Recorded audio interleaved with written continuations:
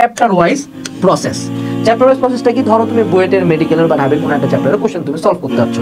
এখন আমি তোমাকে পার্সোনালি সাজেস্ট করব যে যেই চ্যাপ্টারটা তোমার ভালো মতো পড়া হইছে, হুম, সেইটার দিকে যাও। তাইলে তুমি দেখবা যে ক্লিয়ার পিকচার যেমন পাচ্ছ, ঠিক তেমনি তোমার কনফিডেন্স বুস্ট হচ্ছে। উদাহরণস্বরূপ, তোমার ভেক্টর ম্যাট্রিক্স গুণগত রসায়ন খুব ভালো মতো পড়া হয়েছে তুমি বাজার থেকে কিছু চ্যাপ্টার ওয়াইজ কোশ্চেন ব্যাংকের বই পাওয়া যায়। যেমন ওই টাইপের একটা বই হলো অ্যানালাইসিস সিরিজ ঠিক আছে? এই বইগুলোতে বিগত বছরের কোশ্চেন চ্যাপ্টার ওয়াইজ দেওয়া আছে টাইপ ওয়াইজ চ্যাপ্টার ওয়াইজ দেওয়া আছে। সো তুমি এখানে একটা চ্যাপ্টার ওপেন করে ওই চ্যাপ্টার থেকে বিগত বছরে কি কি কোশ্চেন আসছে সেটা তুমি দেখে নিতে পারো। এই বই সেম বই মেডিকেলের জন্য আছে সেম বই আবার আমাদের ইঞ্জিনিয়ারিং এর জন্য আছে। এগুলো হলো চ্যাপ্টার ওয়াইজ কোশ্চেন ব্যাংক খুলে তুমি সুন্দর মতো ওই চ্যাপ্টারটার আন্ডারে কোশ্চেনগুলো সলভ করবা।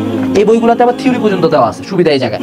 তো তখন যখন তুমি চ্যাপ্টার ওয়াইজ সলভ করলা, তখন তোমার মাথার মধ্যে একটা খুব সুন্দর ক্লিয়ার পিকচার আসলো এবং আরেকটা যেটা আসলো যে টপিকগুলো আসলো, যে আমার মেডিকেল ভর্তি পরীক্ষার জন্য এই চ্যাপ্টার থেকে কোন কোন ছকগুলো গুরুত্বপূর্ণ, কোন কোন উদাহরণ গুরুত্বপূর্ণ ভার্সিটি ইউনিটে কোন কোন টাইপের শর্টকাটগুলো আসতেছে বইটার জন্য কোন কোন টাইপের ম্যাথগুলো আসতেছে, এগুলো আমি আগে থেকে জানতে পারতেছি। ক্লিয়ার তো এই